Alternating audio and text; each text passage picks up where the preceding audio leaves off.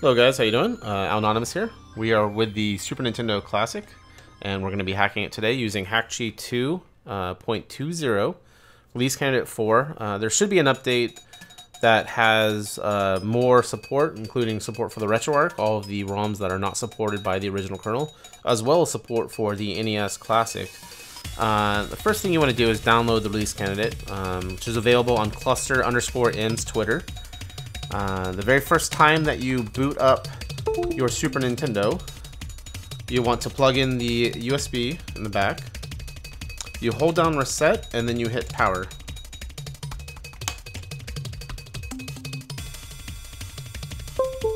When you hear that sound, that you can let go of reset. Then what you want to do is uh, load into Hakchi 2.20 and it will ask you what version you're using. Uh, you can do a NES Classic, uh, Famicom Classic, Super Famicom Classic, or uh, the other. There's one more choice. So I chose the Super Nintendo uh, Classic. And then from here, you do a dump of the kernel. And then, think of the host, Zero Fire.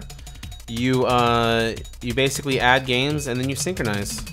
Uh, the very first time, you might have to install a driver for it to be able to recognize the Super Nintendo. Um, but it will have it pop up and you just hit enter. It'll be one of these black boxes.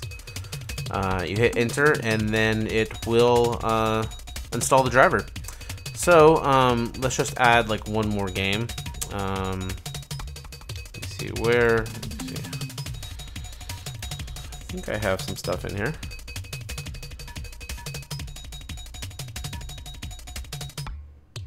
Actually, let me plug in my hard drive.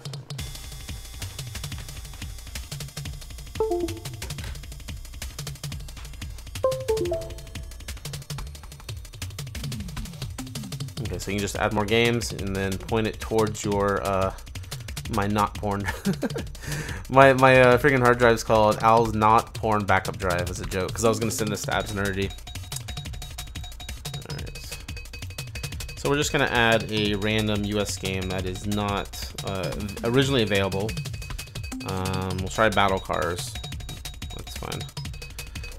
So with Battle Cars, uh, the original one, the Hakchi 1.7D, you can just Google search all of uh, the images, but for this one, it doesn't have that support yet. It probably will in the final version. So you just go to uh, Google and add the art for it, and then you synchronize. The very first time that you do this, um, you're going to have to um, install the driver for it as well as dump the NES, the Super NES. I think.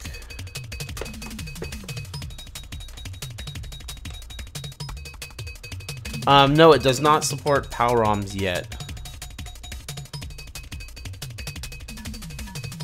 Alright, it's wanting me to, I guess, do a boot up without doing the reset power thing. Might just need to do that with the um, the very first time when you need to install a kernel. So we are turning it on normally. You should see a red light. Yep.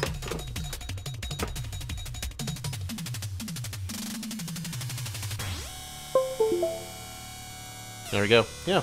Okay, so the Hakchi program's actually changed since I originally did it you just, I guess for the very first time, you have to hold down reset and hit power to install the kernel. But after that, you don't have to do it.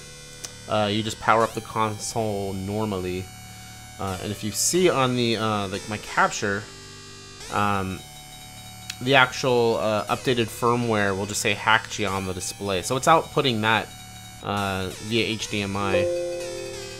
Alright, so it is done. We've added Battle Cars as well as the other games that we added earlier and the system should automatically reboot right back into the menu.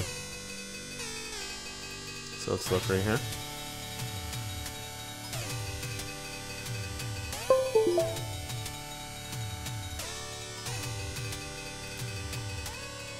You can make a driver for the host.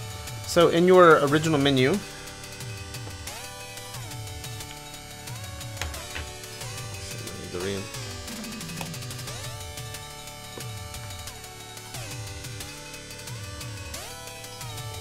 controller.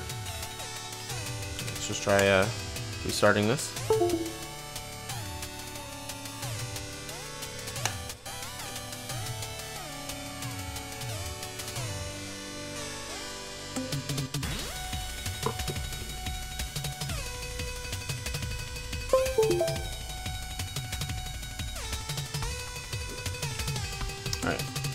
So it has the original, like the NES uh, Hakchi, it has the original games uh, in the main menu.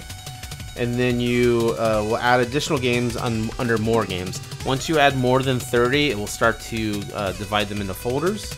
But since we just have a few games here, uh, it just has them uh, right on this main menu, this one menu. So I'll show these games booting up, prove that they do work and that we did add games to the uh, SNES Classic. To get out of the game, you just hit reset. You can also do a controller combination.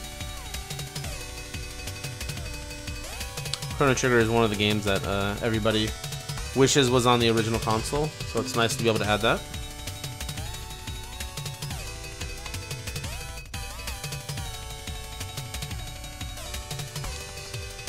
Sanrio World Smash, one of my favorite games on the uh, Super Famicom.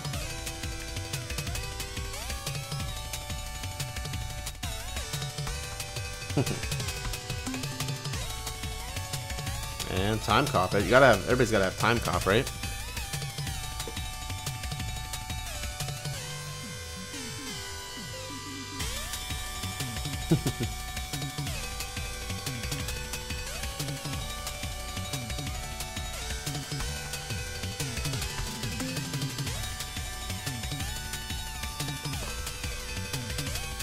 But overall, I'm very happy with the system. Uh, I really do appreciate uh, the Hakchi 2 hack by Cluster M and all the time that he's put into it. You can donate directly to Cluster to support the project.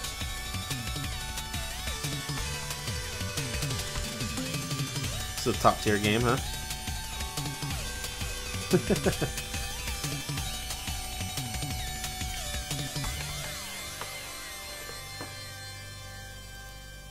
yeah, the uh, the console did end up very nice. I don't like this little door. It's not a big deal. The box is nice, cute.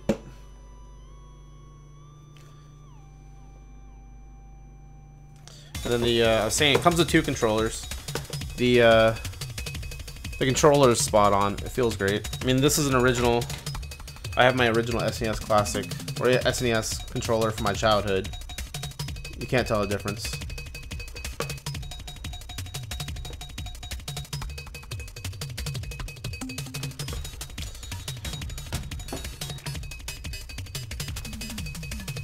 D-pad, yeah, it feels like a it feels like a brand new controller. Like it it feels like you're opening a brand new controller. I mean, you are opening a brand new controller. Unfortunately, uh, I don't know if this is true with the Super Nintendo, but it's definitely true with the NES uh, controller. You can't swap the parts. You can't like get the new rubbers and D-pad and stuff like that. Unfortunately, that would have been really nice to have uh, OEM replacements for uh, the buttons and the um, the rubbers and stuff like that. But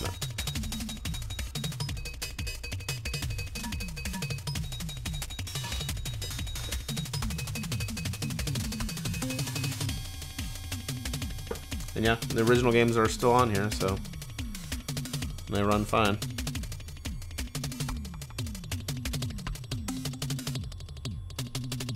Yeah, I, I usually, I genuinely don't like third-party controllers. Just not really worth it for me. Alright guys, well I think that's going to be it for me for today. Really do appreciate everybody hanging out.